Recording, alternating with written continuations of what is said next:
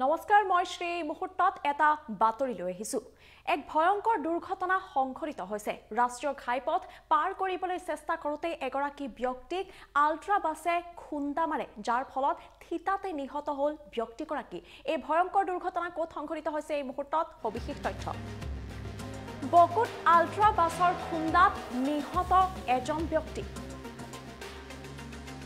আগচিয়াৰ সোতৰ নং ঘাইপথত বাছৰ খুন্দাত নিহত হৈছে অমৃত ৰাভা নামৰ ব্যক্তিগৰাকী। ঘাইপথ পাৰ হ'বলৈ চেষ্টা কৰাৰ সময়তেই এই দুৰ্ঘটনা সংঘটিত হৈছে।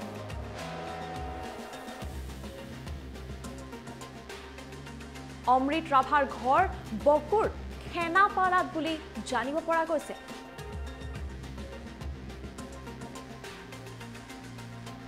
দুৰ্ঘটনা সংঘটিত কৰা আল্ট্ৰা বাছখনৰ number A S zero' one M C eight six seven four গুৱাহাটীৰ পৰা ধুবুৰী অভিমুখে গৈ আছিল বাছখন আৰু সেই গৈ থকাৰ সময়তেই সংঘটিত কৰিলে এই ভয়ংকৰ দুৰ্ঘটনা। এইখন বাছৰ এই মুহূৰ্তত যি দৃশ্যাংশ দেখুৱাইছো এইখন বাছেই সংঘটিত কৰিলে এই ভয়ংকৰ দুৰ্ঘটনা। তীব্ৰ বেগত আহি থকাৰ সময়তে ঘাইপথ পাৰ হ'বলৈ চেষ্টা কৰা এগৰাকী ব্যক্তিক খুন্দিয়াই ৰাস্তাত মহতিয়াই লৈ যায় যাৰ ফলত থিতাতে নিহত হ'ল ব্যক্তিগৰাকী।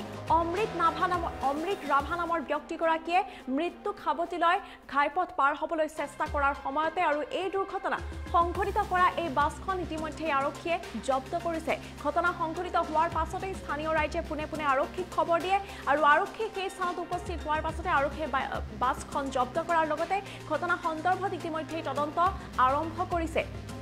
ঘাইপথ পাৰ হ'বলৈ চেষ্টা কৰিছিল ব্যক্তিগৰাকীয়ে আৰু সেই সময়তে এই ভয়ংকৰ দুৰ্ঘটনাই অমৃত ৰাভাৰ প্ৰাণ কাঢ়ি লৈ যায়।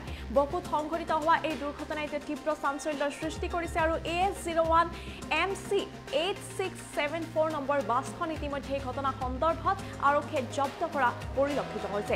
এই মুহূৰ্তত সবিশেষ কিছু তথ্য জানিবৰ বাবে আমাৰ সৈতে মন্তব্য আছে। টাইমেটৰ প্ৰতিজন দৰ্শকৰ বাবে এই মুহূৰ্তত মন্তব্য আগবঢ়াইছোঁ।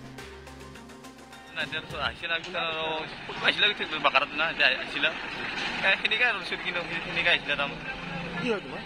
দিগদাৰ হয় দিগদাৰ হয় কি নাম